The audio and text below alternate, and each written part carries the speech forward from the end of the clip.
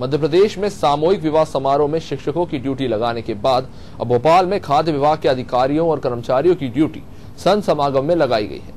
तेरह सितंबर को जारी जिला आपूर्ति अधिकारी के इस आदेश में फ़ूड इंस्पेक्टर और दूसरे कर्मचारियों को मंगलवार को होने वाले संत समागम में अलग अलग जिम्मेदारियाँ सौंपी गई है।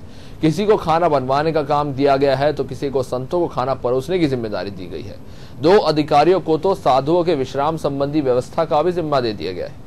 आपको बता दें कि पिछले दिनों सामूहिक विवाह कार्यक्रम में शिक्षकों की ड्यूटी लगाई गई थी, लेकिन विपक्ष के विरोध के बाद शिक्षा विभाग को आदेश वापस लेने पड़े।